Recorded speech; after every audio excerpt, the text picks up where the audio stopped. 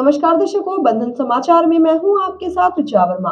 खबर जिला बिजनौर से है, जहाँ से हम आपको दिखाते हैं हमारे संवाददाता तुषार वर्मा की खास रिपोर्ट।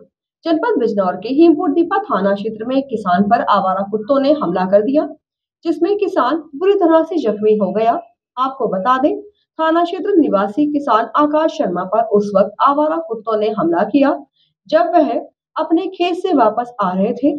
कुत्तों के हमले में किसान बुरी तरह से जख्मी हो गया। किसान ने आवारा कुत्तों से बमुश्किल अपनी जान बचाई और बताया। क्या नाम है आपका?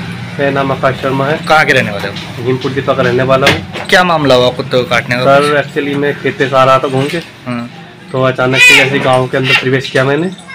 तो आते ही मेरे से एकदम से त्योहार एकदम से ही आक्रमण किया उन्होंने। आठ दस कुत्ते वर्ड सर। और अचानक पीछे से ही आक्रमण कर दिया मेरे पे। किसी ने कितनी जगह काटा?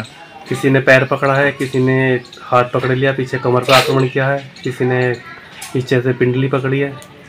और इसी के साथ जुड़ रहे बंधन समाचार के साथ।